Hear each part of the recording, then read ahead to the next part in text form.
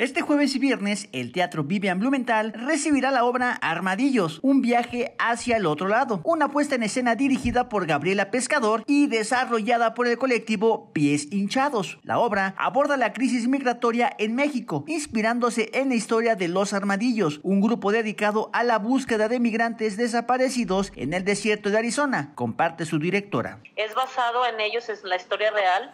de eh, dos hermanos que fueron los que eh,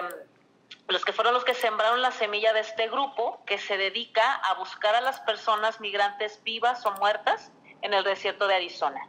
Eh, obviamente, pues esta situación migratoria sabemos que es avasallante y que pues todo el tiempo está, todo el tiempo estamos migrando, es una cuestión natural,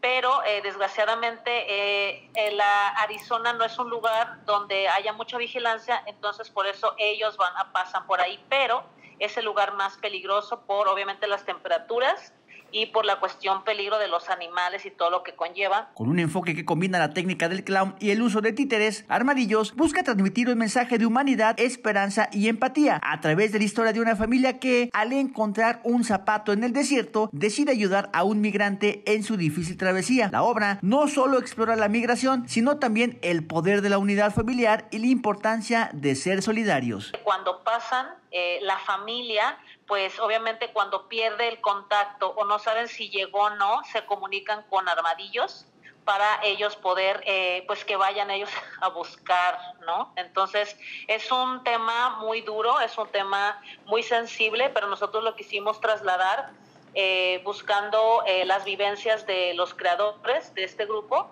de los armadillos, de cómo ellos desde pequeños empezaban a pues su madre, más que nada, los, eh, los enseñó a que era cuidar y ayudar a las otras personas. Un aspecto clave de la puesta en escena es su enfoque inclusivo, ya que la obra está interpretada en lenguaje de señas mexicana y cuenta con la participación de Ramón Rodríguez, un actor sordo. Esta inclusión es parte de la filosofía del colectivo que trabaja en proyectos destinados a personas con discapacidad. Los boletos para la obra pueden adquirirse en preventa por 150 y el día del evento 200 pesos. UDGTV Canal 44, Héctor Navarro.